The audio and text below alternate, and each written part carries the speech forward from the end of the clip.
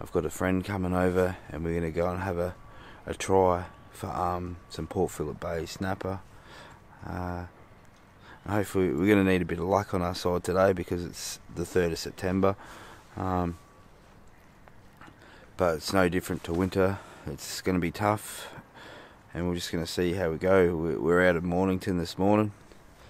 Um, and I don't know about you fellas, but when when I catch an early season red, there's nothing more satisfying except for a winter red.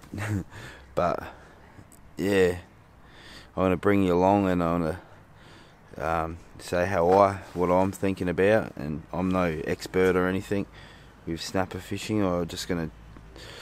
I hope I don't come across that way, but I just like want to, you know, share my thoughts and feelings and, and some of the reasons why I do things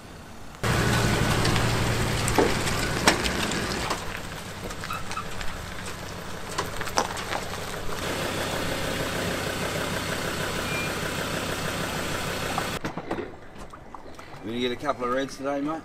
Oh, hopefully.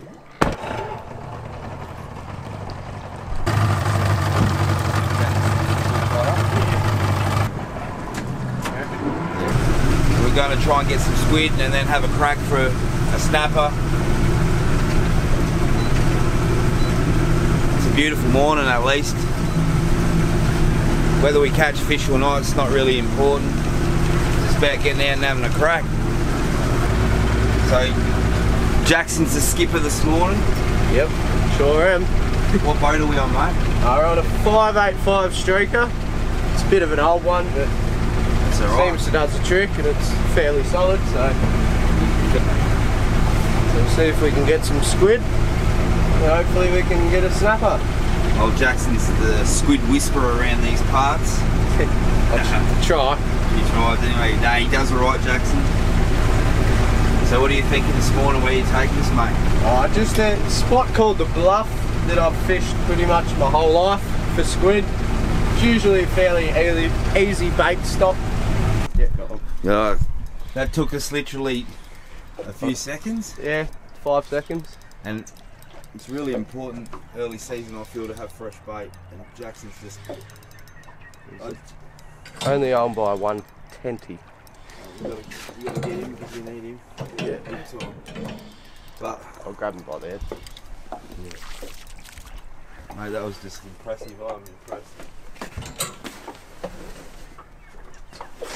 An old squid whisperer.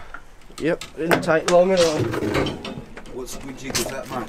Ah, that was just a, a brown, oh white, sorry, just a white cheapie, Beauty. to be honest.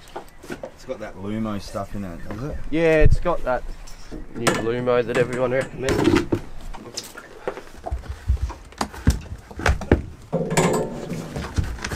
He's gonna squirt straight away. Get the lid ready? Yep.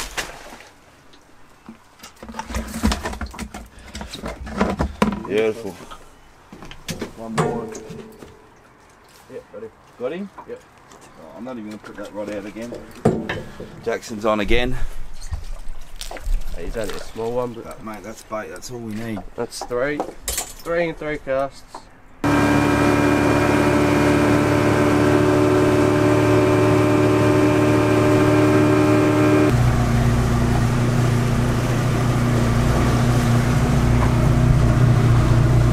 Beautiful.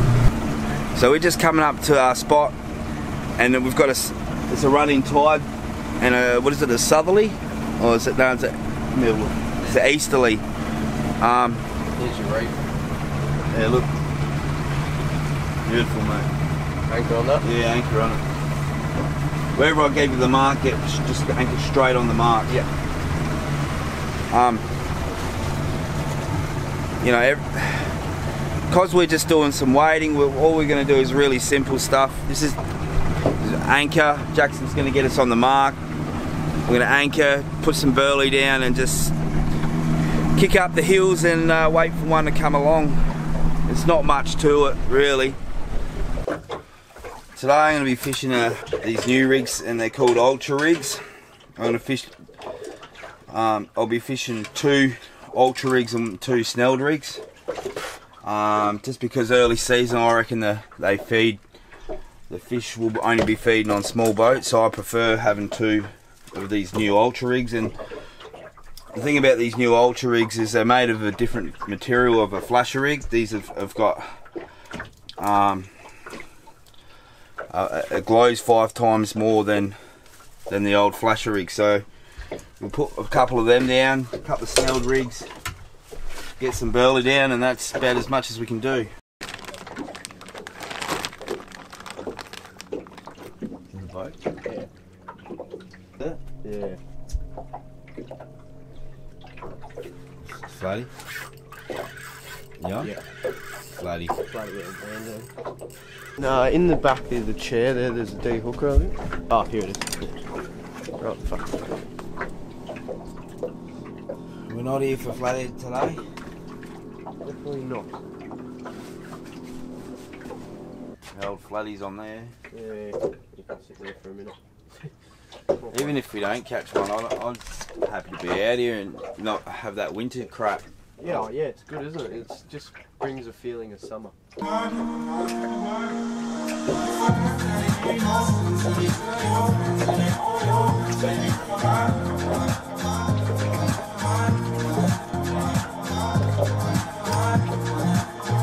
This is how you can lose fish sometimes. See how the line's twisted? And what happens is when a helicopter's down, it twists up and then the red will hook up and that will pull tight and snap and you'll lose your fish. So we're going wide off the shipping channel.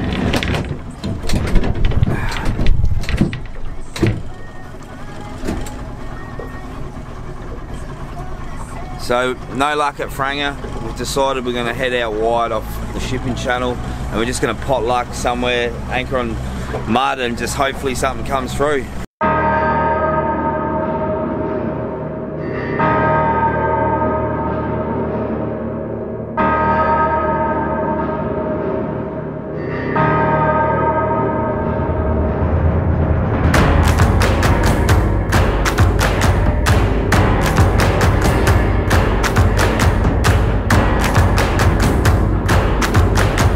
Out of the shipping channel, um, got a spread of rods. We haven't sounded up. And we're just going to do the hard yards and wait. And the channel I reckon they come in is over this channel that through Indented Head. So, well, they obviously come in all channels, but to, the fish that we're targeting right now are the ones that are coming through Indented Head area and cutting across the bay, heading to Altona and up into Melbourne. And all we're doing is we're putting a burley pot down to the bottom, putting the spreader rods out. We've got some ultra rigs and uh, some snelled rigs, just a mixture of everything. It's not much to it really. It's just about getting into the right spots. This area where I'm in now, I've fished for years, and um, every year about this time, you just come out here and you just got to make the effort and come and wait on these flat days. The barometer's high, and there's, that's about it. That's all you can do, and we'll see how we go. Pretty much all you can do. Yeah, and that, that's how we do it. We're not we're not experts or anything like that. And uh, um, I'm just telling you my past experience in set for catching September reds, and and Just the time and effort, really. yeah, That's all it is.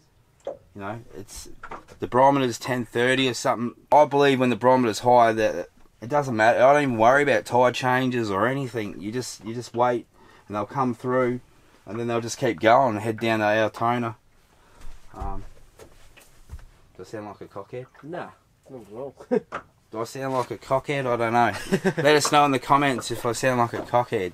If anyone wants these hoodies, we I don't make any money on them. They, I just get a company in Alphington to make these hoodies. Um, I reckon they're pretty awesome. They're really good quality, um, and you can get them custom.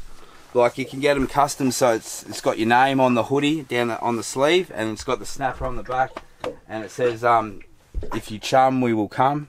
And uh, we've got a bit of chum out today.